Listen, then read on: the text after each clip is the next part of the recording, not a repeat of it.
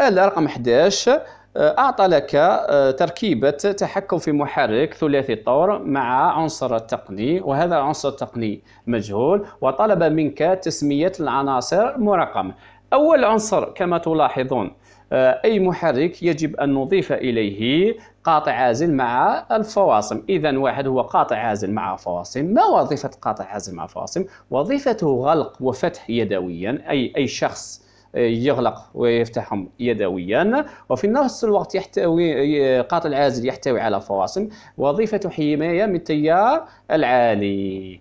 أما العنصر الثاني وهو ملامس كهرومغناطيسي ما وظيفة ملامس كهرومغناطيسي كأم؟ وظيفته غلق وفتح آليا. ومن الذي يتحكم في هذه الملامس؟ تتحكم فيهم الوشعة كأم الموجودة في دارة التحكم. أما العنصر الثالث فهو مرحل حراري وظيفته حماية المحرك من فرط في الحمولة. عندما يمتص المحرك تيار أكبر من تيار اسمي فهنا فهذا يسمى بفرط حمولة وبالتالي يتم فتح شفارة ثلاثة ويتم قطع تغذية على المحرك